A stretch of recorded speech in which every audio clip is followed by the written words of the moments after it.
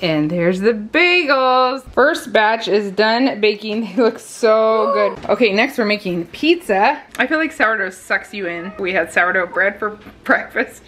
We're having sourdough pizza for dinner. We're having sourdough bagels for lunch tomorrow. Hey guys, how are you doing? It's going really good at our house. Hope it's going well at your house. Solo's home today. Are you home for long? Probably not. Yeah, I am home for, well, I'll go walk at the other house a little bit, but. Or work at the other house. Oh, you want to be held? She's tapping my leg. Okay. Look at this cutie. We are doing all the sourdough things. I never really got into sourdough. Do you see Nessa and Noelle and the kitty?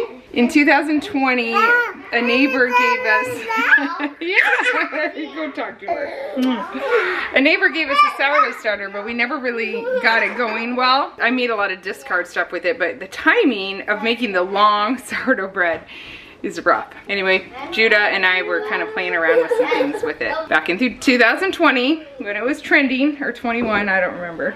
Okay, let me take her out. I'll be right back. All right, she made me come outside. I think Solo's coming out soon to play with her. I've been doing all the sourdough things this time because I was with Lisa from Farmhouse on Boone, Lisa Bass, and she, I asked her like, can I have a bit of your sourdough? And she graciously gave it to me. And so hers is 12 years old. It is tried and true. Uh, she has tons of sourdough recipes online. She's like the sourdough queen. So that really, I was like, I'm gonna do it now. I'm gonna really do it. And then just a few days later, I was with a cousin who gave me a hundred year old one. So we have two sourdough starters. I've kept them both going. Uh, one's named Anna, Anna's 100, and one's named Lisa, Lisa's 12. And Lisa told me how she just never, she never has to discard and throw stuff away. So I have made sourdough skillet dinners. I've made a lot of, we've done Dutch babies, right? Number of times with sourdough. I've made sourdough crackers, which are super easy and smell wonderful and taste good. And then we've, I finally got into making the long process of the sourdough bread. And it is so good. I probably wouldn't keep it up if it wasn't for the fact that my family loves it so much. They don't even like my other homemade bread anymore, which they, put. wow. You have stickers all over you. Destiny found him. um, they, they, uh, they preferred my homemade bread to store-bought bread. Now they're like, the sourdough's so good. So their love for it is encouraging me to keep going, even though it's a long process. So what I like to do when I learn something new is I like to do it over and over and over. So that's what I've been doing. I've been making sourdough bread over and over and over. And the more I do it, the more it's, the less intimidating it is, the less it feels like a long, huge process, the more it becomes by rote, which is good. That's what I need. So yesterday, I started some bagels. Lisa told me she does bagels a lot. They're very easy. And I've made bagels before. I did not find them to be easy. I found them to be hard to eat too, like real chewy. They're good, but I don't know. They weren't awesome, not worth the work. But when I was with Lisa, I tried some of her bagels and they were amazing. And so it's worth the try. I'm trying those. So I'm gonna boil and bake those here soon. I'll show you how that turns out. And I'm getting more loaves started. Every time I make a loaf, uh, loaves, it is four loaves at a time. So yesterday, the people that rented our RV for the first time, which that went amazing, at least on our end, they said they had a wonderful time. Everything went really well. They cleaned it up like we cleaned it for them, or if not better. It was it was a wonderful experience. I sent them home with a couple loaves of bread. It's really nice to just have a lot around because okay we're so oh go play with kittens they're so cute yeah very carefully remember how I taught you don't hold their necks Want to pet him? Okay. Pet him. On. No, she just wants mom right now. Good job, Seth. Okay, put her down. Put her down. Let her play. Ah, he's back. I want to sit with this child. okay. So uh, when we eat sourdough bread, it's like we can easily eat two loaves in one sitting, no problem, because there's a lot of us. It's also nice to have gifts readily available for people. I do love that. People love to get a nice homemade loaf of sourdough bread fresh. So I want to keep going, get some in the freezer even if I get plenty. So I've started another batch that will be done tomorrow. Is this like the the loaves are like a almost two day process. It's intense. What? Solo's eating lunch and he's eating something we made yesterday on the, the outdoor griddle. It was so good. It was a cheeseburger fried rice. I'll have to share that sometime because it was good. It's good, isn't it? You saw a sticker on your head. the griddle. Look at this guy. Mm, so cute. He is adorable. So Solo's been working a, a lot of the house. Our older four have been away at camp. Everybody's playing with kittens here. The older four have been away at, at, camp, youth camp in Colorado. They're having so much fun. Oh, our younger seven have all been sick for like two weeks because it's five days each, so it takes a while. We have to highly supervise Seth with kittens. But they're finally, I think the last of them are finally near the end. It's been hard for them. So it's been kind of an exhausting week as usual, but we're making progress here, I feel like. With the garage, cleaning it out little by little, just getting our, our home in order. Our video went up today at talking about how we took our house off the market, our other house, and we are just fixing up the carpet. We heard from a lot of realtors in that vlog, so that was encouraging and good uh, just to hear what you guys had to say. Looks like we're on the right track. We're just wanting to, um, our realtors have experience with, sometimes if they just lower the price for something that people aren't liking, they'll just keep getting the same complaints without offers, so it's better to just fix it up. So that's why we're going that route. It is what it is. I'm getting a better attitude about it little by little. She wants to be on camera today. Let me show you my bagels. Oh, well, here's some bread. We had some this morning. We saw these three loaves. And the bagels. And there's the bagels. They've just been rising in the oven with the light on only. I think they're ready to boil Wait, the and bake. hot? We're gonna use them for Sunday breakfast or lunch. Not sure, maybe Wait, lunch. the oven's not hot? Ooh, they're heavy. The oven's not hot? No, it's not. It just has the light on. Aren't they pretty? I also fed Lisa and Anna this morning because I'm gonna make more of these. Noelle and I are boiling them. Very good. Slide it on the tray. I'm getting some salt on top. Ooh. We were gonna do these for breakfast Sunday morning, but I think I made some yogurt and granola. So we're gonna have that for breakfast. And we're gonna do bagels with cream cheese and salami. And maybe I'll stop at a store and get some arugula. Quick, easy lunch after church. First batch is done baking. They look so good. We can make them a little more beautiful, but I think they're pretty good. What do you think, Noelle? It looks so good. They smell good too. We got another batch of these in the oven and that'll be lunch tomorrow. I brought some treat for the chicken and the guinea fowls, and they're going crazy. The last couple weeks it's been really good. We've gotten a lot of rain, and uh, I can see we are getting back some water on the pond because this section was completely dry. That's a very good sign. But one of the days we had such a bad storm and we lost some trees. Look at that. We're gonna get a chainsaw down here and clean up all this mess. But we we lost a really good sized tree here. Actually two of them. You see that one is leaning on another tree, but it's uprooted on this side. And look at that big one over there. Here's a live tree. So this is actually a trail that it blocked. So we're gonna have to kind of get this one cut down into pieces. Also, we lost some dead trees on another side, on another trail, so we lost some dead trees as well. I guess that's something we're gonna have to get used to doing with this many trees and clean it up soon. Yeah, this is the dead tree, one of the dead trees that we lost. It was, it's amazing it stayed standing all this time, but Yep, so we got some cleanup to do, and there's there's one other one that we lost in a different trail, but uh, everything else is looking good. The pond is starting to refill. I see some areas that were dry and parched. That's has water now, so that's great. We're getting there. I'm all hot because I've I've been putting in some time every day into our garage to try to organize it because it is full of stuff, full, from our move and it needs to be functional. So I've just put in almost an hour every day for three days and I'm just stretch and fold my sourdough and it's made a huge difference. I was gonna show you my new laundry routine here. As normal, the main part of my routine, which is do the laundry every day, is the basic part of my routine. It's wonderful, it works. A lot of times it's one load, a lot of times it's two loads, kind of depends. Once in a while it's three.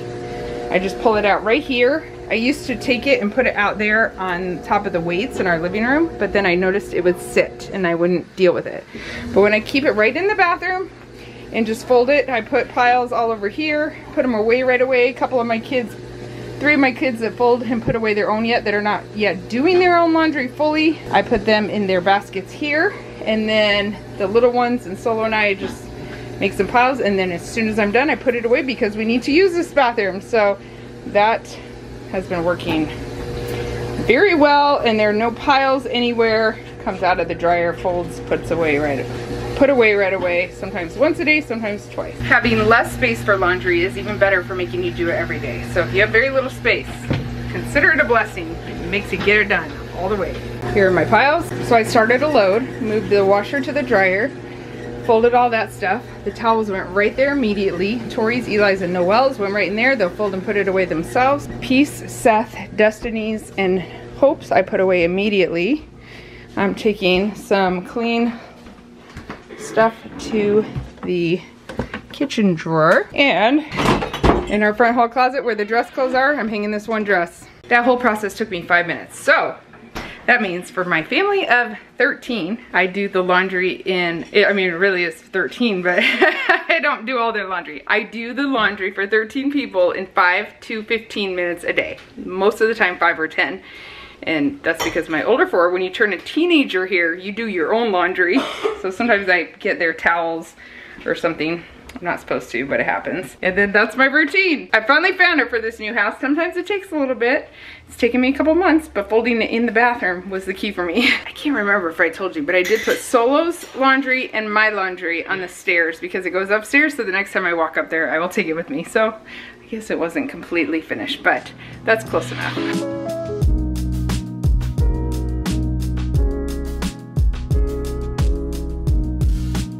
Seth said a kitty wants me. He is still in his pajamas. Yes, we're doing the farm boy look here. farm toddler.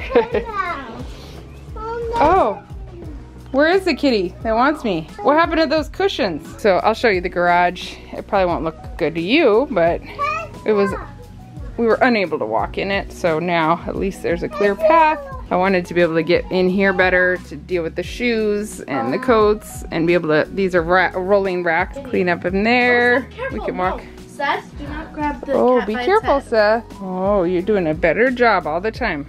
Here, I'll hold that kitty. Thank you. This is Sue. Sue, say hi. Sue has a little white tip on her tail. So yeah, you can walk in, you can walk around back to these this couch area. All those cupboards are full. There's homeschool stuff. There's two cupboards full of kitchen stuff, some homeschool material in there. Oh, so much storage and toilet paper. And then one hit, we had a freezer that did not close well last night, so trash pile to deal with. Oh goodness. I'm telling you, it didn't look good. It doesn't look good, but I should have shown you it before. Couldn't walk at all. so this is progress. Our goal soon is to get rid of this huge mattress pile. We have some covers for it. You guys told us about those. We bought those. Um, we need to move them to our other garage shed, but there's not room currently, so we have to clean that out first. But when those go, I'm gonna have a lot more space to work with. So you know the end of a move when you just start throwing everything in at the last minute, that's what happened here. It's real. And then it all got thrown over here because we were trying to get that house ready to sell. It's just like, oh, let's just shove it in and we'll deal with it later. So that's what the last three days have been, dealing with it later. And we have a whole nother shed to do. Okay, next we're making pizza. Ooh, okay, that's enough of that. Homemade pizza sauce. We just used some tomato sauce and a little sugar and spices. Lots of garlic. This dough, or the crust rather, is sourdough discard. So that's like free something I had sitting in the fridge. Another one of Lisa's recipes. I just poured it in that cast iron. It cooks up, pops right out, and it was just discard, discard, salt. And then I put some different Italian seasonings on it and some garlic powder and onion powder. Oh, it smells so good. Now we're gonna bake that. I did it the opposite order, but I normally do because she said that when the sauce goes directly on the crust, it gets soft when it's red sauce. So I just did the cheese, pepperoni, and then the sauce. We'll see how that works. Uh, actually, I may, it's Parmesan cheese, but I may just add a little mozzarella on top too. Your pizza. This is gonna be your pizza. My pizza. It is so weird cooking for less people because Tori and Eli have been sick all week, so they have hardly eaten a thing. And then it's just Noelle, Hope, Des, Seth, Peace, Solo, and I. It's like nothing I can put this way. because they're little kids too. Seth is learning how to cook pizza. Oh! just be thankful you're not invited over tonight. How do you even help that, you know? When you got some good sauce on your finger. Here you go, man. Wipe them up. Tell me if you agree. I feel like sourdough sucks you in. Then once you're on that train, you can't get off. We're, we had sourdough bread for breakfast. We're having sourdough pizza for dinner. We're having sourdough bagels for lunch tomorrow. I feel like if I hop off the train, I'm like literally hopping off. Maybe I'll just take a week off and put my starter in the fridge. but uh, yeah, it is definitely like you keep it going and then you got all the extras and you're like, what can I do with it? And then suddenly you're doing everything sourdough. it's good though. It's good to have the bagels homemade because we usually buy them and they're way, way tastier. I tried one. Oh my goodness, it is so good. And it was very easy, it wasn't hard. What is your funny problem? What's your funny problem? All right, so the thinnest crust one worked the best. This one I had to piece together a little bit because I did it a lot thicker. This one I did a lot thicker and it had a hard time baking. I had to bake it quite a bit more. And then it fell apart when I took it off. But it has made a really good appetizer. so it's all good. I had plenty of discard to mess with, so it's just basically a waste of seasonings. okay, we're about to find out if this is any good. What do you guys think? Is it gonna be good? Yeah. Yeah. Mm-hmm. Oops, can't vlog and cut at the same time. Looks like the crust still got soggy. Lisa warned me, but it's good. It's still good. We don't mind a little soggy crust, do we? She said if you do Alfredo sauce crust, it doesn't get soggy. Okay, whoa, whoa it's gonna be hot. Pizza is delicious. oh, good. Mm-hmm. Eli's trying to eat today. That's a good sign. I'm trying another. Here's that process before it's baked. Um, it kind of bakes right in there because it's preheated. The, the pan's really hot. The reason I know I'll make this one again is because A, they all love it and are asking for it again, even though it didn't turn out perfectly, like some of the crust. And then um, B, it is zero prep work. As long as you have starter, you can make it I mean, within half an hour, that's a winner. I've made pizza crust that takes all day and days actually to sit in the fridge. Okay, here, let me help you. This dog has gotten to clean up a couple messes today. That's why we keep her around, right Nessa? Thank you, Nessa. Okay, what else is saving my life right now is a clean sink as much as possible. While I'm baking, I just wash everything right away. Makes all the difference in the world. We do zones in our house, so each of our kids have a certain chore that they do for a long period of time, like a year even. And my eight-year-old recently got uh, loading the dishwasher. I am taking over washing the big pots and pans. So she's still kind of learning. She picked it. She really wanted to do it. She does a great job, but she's also still learning and it can be a lot. So I rinse the dishes for her a lot of times before she loads. So a lot of the sink is my responsibility, which is why it's helping me a lot to just keep it clean as much as possible. You would think just doing it right after each meal would be enough, but no. When you have 13 people and you're baking stuff and making things throughout the day, that sink can fill up quickly many times throughout the day. So I find that keeping it cleaned out and even shining makes a world of difference. Just pops right out. Okay, I got some pizza made for the big kids. They're coming home at midnight tonight. Cannot wait to see them. Got some bowls out for my sourdough that will go in the fridge overnight to bulk ferment, I think it's called. I know metal's not the best, but one day I'm gonna go to a thrift store. I'm gonna get out of this house, one day, and I will buy some glass bowls. Otherwise, I got everything basically cleaned back up some dough rising there. Some leftovers for the birds. Solo's fixing the freezer. I think I said that earlier. It has too much ice in it. It needs to be totally cleaned out, but we have a little too much stuff in it to do that right now. you know, we bought it from uh, what do they call those stores? The salvage warehouse, whatever it is. It was a, such a good deal, but Well, I think it got opened a couple times, not, not closed well, which has happened to our other freezers too. It's not self-defrosting. oh boy. so much for my clean garage. Also, let me show you this. They're playing. This is the, this is the cat area. Multi-purpose. I had a box, a bed for them, but they didn't care for it. They sleep up on a corner of a mattress that was now theirs. And these guys, they're playing costumes out here, which is great for me because they're gonna clean up when they're done, right guys? What? I heard that. No, no.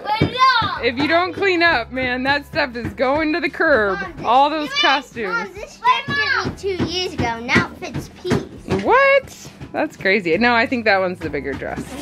I know. Anyway, they're having a good time out here. The bigger one It's nice to have another place to play. Oh, she's waiting to be dressed. Oh, it's beautiful. Wow, Peace. They dress you well.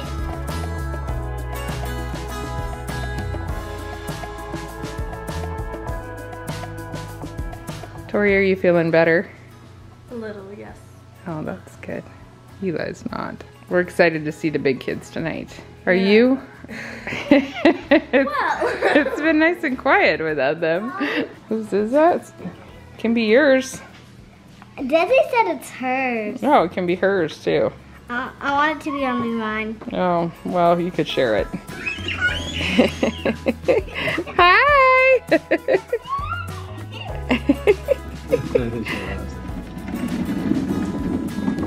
That's a bumpy ride. I don't know if you can tell, but she has a grin from ear to ear. She's so happy. It's been very weird having four less kids here. It feels like such a small family with seven children. Such a small family. And then with Tori and Eli down, it's been just extra quiet. It has been extra quiet. Very quiet. A little cleaner. Yes. I don't know how that is. Video. That the house is cleaner with the older kids gone. Yeah, how is that? Maybe the little kids, they have little, their messes are smaller. they play outside more. yeah, they do. Uh, yeah, anyway, it, it'll all change tonight at midnight or 1 a.m. when they all come home. We'll be happy to have them home though. Thank you guys for watching today. I hope you have a great day and we will talk to you soon. Bye. Bye. See you guys.